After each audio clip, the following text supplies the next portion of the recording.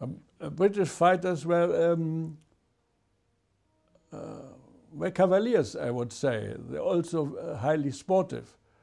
I remember one who was attacking uh, my wing, or this formation of three planes, which I had then, uh, was attacking normally, and we were invading with our um, uh, high maneuverability. And then he was pulling out, laying his plane on the, his back's back, and shooting in that position onto us, which is tactically a nonsense, but he was showing what an artist he were.